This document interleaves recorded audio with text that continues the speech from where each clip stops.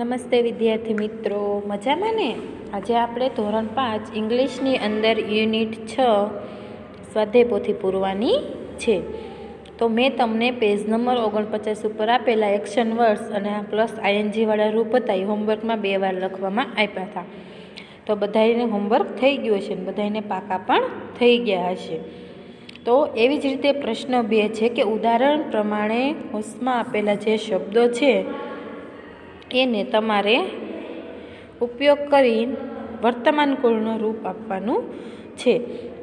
દાખલા તરીકે example the girls are speaking skip એટલે સ્કીપિંગ પછી એમ આઈ એમ લર શું આપ્યું અહીંયા? લર્ન પણ એનું આઈએનજીવાળું રૂપ શું થશે? લર્નિંગ આઈએનજીવાળું રૂપ શું થશે? લર્નિંગ એટલે આઈ એમ લર્નિંગ ઇંગ્લિશ પછી તો કે આર ખાલી જગ્યા અ બુક રીડ. શું આપ્યું છે રીડ? તો રીડિંગ. શું આવશે? આઈ એમ ખાલી, I am reading the book. He ખાલી જગ્યા રન આપ્યું તો શું આવશે? હી ઇઝ રનિંગ ખાલી જગ્યા. એક્શન્સ વર્ડમાં હી હોય તો ઇઝ યુ હોય તો આર અને આઈ હોય તો આઈ એમ. એ તો બધાને આવડે જ છે. આઈ સાથે એમ, યુ સાથે આર અને હી શી સાથે ઇઝ એટલે હી ઇઝ રનિંગ આ બધા આઈએનજીવાળા રૂપ થયા છે. એવી જ રીતે જો શી તો શી હી સાથે મેં શું કીધું? ઇઝ ધ ધ સાથે ધેજ સાથે, એ બધા સાથે ઇઝ તો કે ડાન્સ અહીંયા આપણને શું આપ્યું છે? ડાન્સ તો શું લખવાનું? શી ઇઝ ડાન્સિંગ પછી ધ કેટ ખાલી જગ્યા ઓન ધ ટેબલ સીટ આપ્યું છે. શું આપ્યું? સીટ તો the cat is sitting on the table.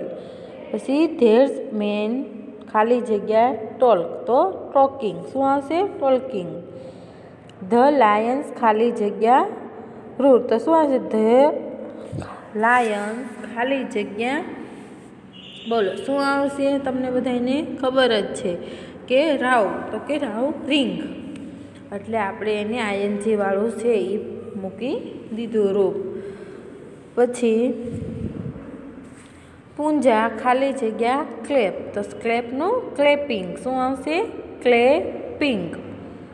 પછી ધ માઉસ ખાલી જગ્યા ધ નેટ. તો કટ. એનું શું આવશે? કટિંગ. શું આવશે? Cutting.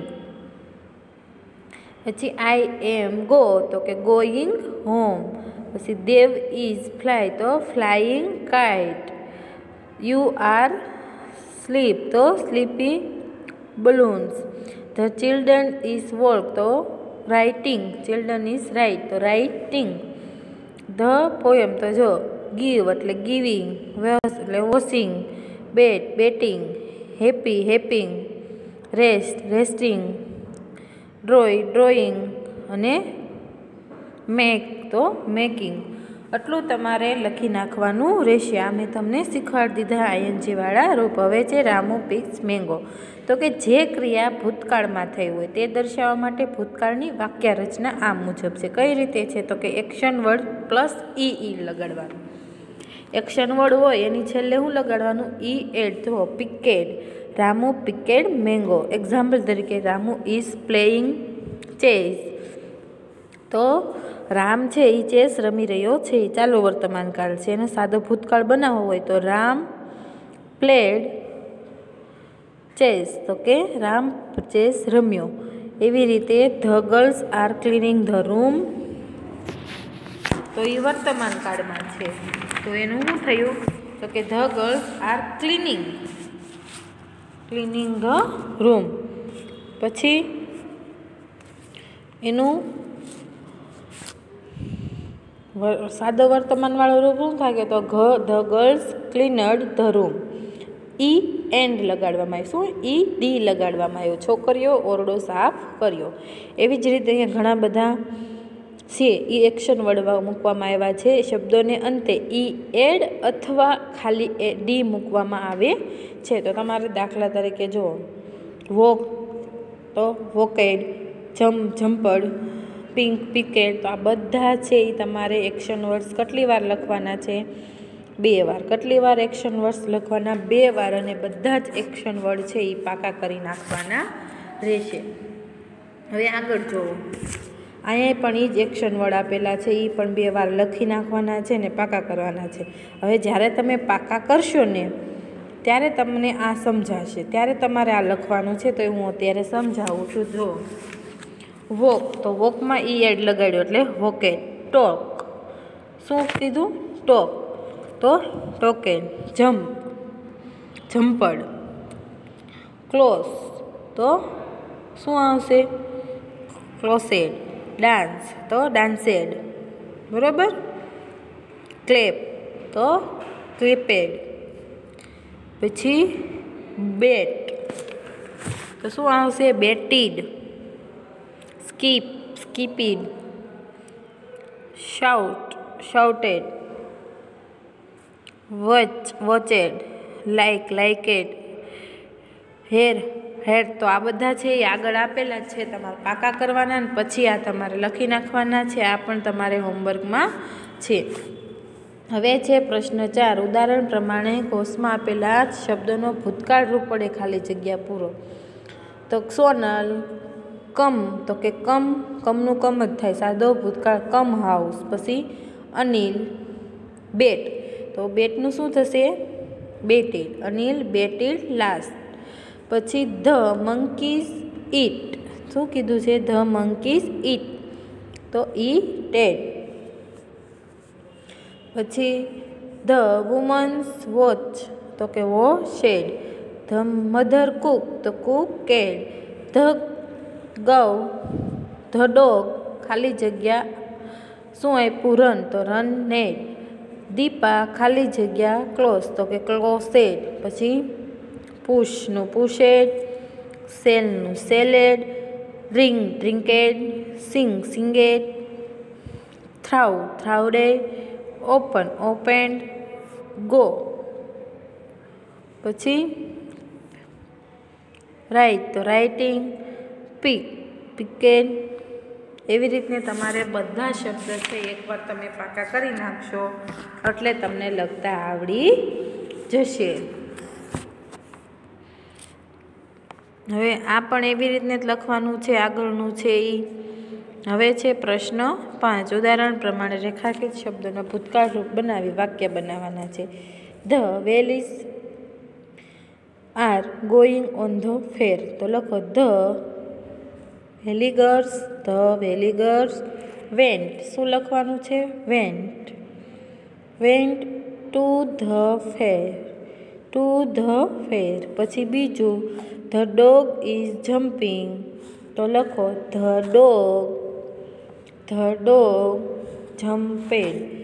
The dog jumped. I am visiting the zoo. I am visited the zoo. I am visit the June Sameer is buying tickets Sameer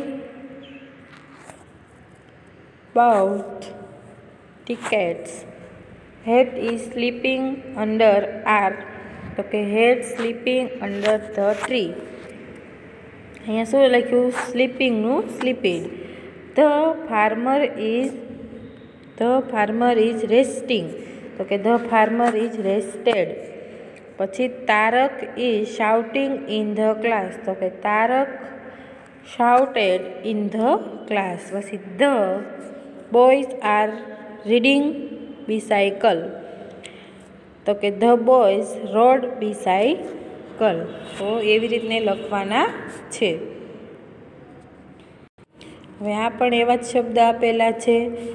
Tina is feeding the cows. તો કે Tina feed the cows. પછી Malti is starting near the gate. તો કે Malti સ્ટાઉડિંગ near the gate. Gita is fleeing down. Gita is ફ્લીડિંગ down.